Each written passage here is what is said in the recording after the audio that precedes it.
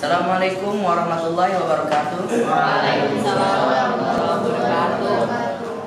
Perkenalkan kami dari kelompok Jumpas Pusa dan kami akan menampilkan presentasi kami mengenai tema proyek yaitu Jumputan. Se- Sebelum itu ada baiknya saya memperkenalkan anggota kelompok saya dimulai dari saya sendiri yang berperan sebagai moderator. Eh, Di belakang saya ada Hanifah Aziza Rami sebagai penyaji, ada Keisha Fauzan Enia Keisha dan Malika Velma sebagai penyaji. Tanpa basa-basi, marilah kita memulai presentasi yang akan disampaikan oleh Silakan. Oke. Yang pertama kami akan memperlihatkan logo kami yaitu ini. Dan nama yang dibuat oleh teman kami yaitu Fauzan Muzaffar Syah. Tolong tepuk tangan atas kerja kerasnya. Nah, jadi nama kelompok kami itu Jumpas Pusa yang artinya jumputan anak 101. Nah, logo ini logo Jumat Pusa ini digambarkan dengan ini itu tote bag sebagai salah satu barang yang kami jual di stand kami. Sedangkan di sini ada tangan juga dari logo tersebut yang melambangkan bahwa kami menjual produk kami dengan niat yang baik, memperlakukan para pelanggan kami dengan cara yang sepatutnya dan menawarkan produk-produk yang estetik. Nah, untuk bahan utama dari eh, bahan pembuatan produk kami, kami akan menggunakan kain jemputan. Sesuai dengan tema kelompok kami, kami akan menggunakan bahan dasar kain ini. Ya, oh, tema kami itu pelestarian budaya khas Palembang. Jadi produk-produk yang akan kami buat yaitu holder, bandana, tote bag, gelang kapal, dan dress. Selanjutnya akan dijelaskan oleh Marika Velma.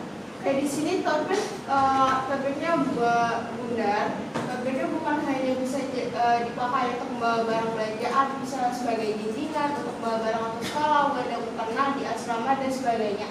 Bag yang kami tawarkan akan menggunakan motif jemputan yang beraneka ragam warnanya. Cup holder dapat digunakan holder dapat digunakan untuk membawa minuman dingin maupun panas, tapi dengan menggunakan motif jumputan. Cup holder ini pun eco-friendly karena dapat membantu mengurangi penggunaan kantong plastik. Cup holder yang kami tawarkan kali ini akan berbeda dari cup holder yang seperti biasanya. Kali ini cup holder yang menggunakan bahan dasar dari kain jumputan. Nah, kalau untuk bandana, bandana ini bisa sebagai aksesoris kepala biasa yang dipakai pada saat KB malam. Kalau enggak bisa dipakai untuk ambil snack, ambil snack di asrama. Oh iya, terus cuci muka pas malam-malam. Terus ini bukan untuk bandana aja, bandana kan bisa diputer-puter gitu. Jadi ini bisa dipakai untuk dikuncit juga. Jadi pita. Jadi kita dikuncit. Kita merah? Iya. Jadi target utama gelang kapal ini, eh gelang kapal dari bandana ini ya itu siswi apa angkatan Etrios yang lagi T asrama. Oke, selanjutnya adalah gelang kapal. Gelang kapal ini untuk memperkuat pertemanan dan sebagai hadiah ulang tahun ya.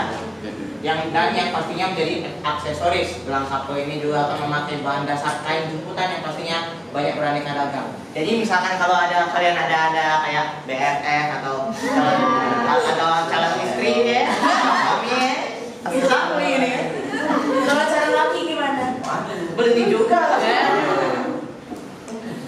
Oke, untuk yang terakhir ini sebenarnya akan kami jadikan surprise atau kejutan, tapi ya sudah kami tampilkan saja. Jadi kami di sini selain menawarkan produk, kami juga akan apa, memamerkan dress yang akan kami buat dari bahan jemputan dan bahan yang lainnya. Dua ini itu sebagai referensi saja. Kalau dressnya masih kami pikirkan lagi, tapi insya Allah akan kami buat dan akan kami pamerkan dan akan dipakai oleh model kami, Keisha Christine.